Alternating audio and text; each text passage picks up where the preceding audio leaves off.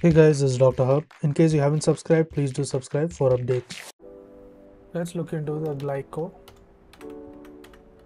the glycosphingolipids. The glycosphingolipids it includes the seri, cerebroside.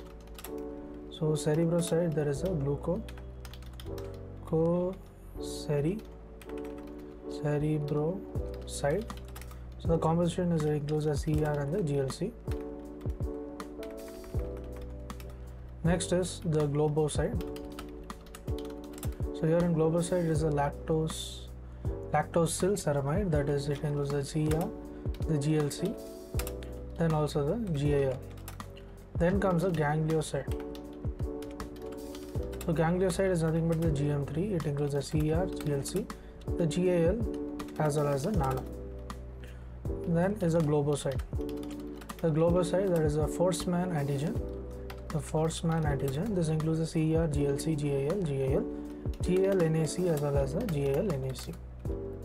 So here uh, the CER we used was for the ceramide, the GL is the galactose, the GLC is the glucose, GL NAC is nothing but the N-acetyl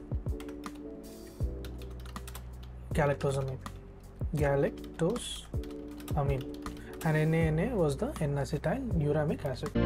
To learn and grow daily like this, please do subscribe.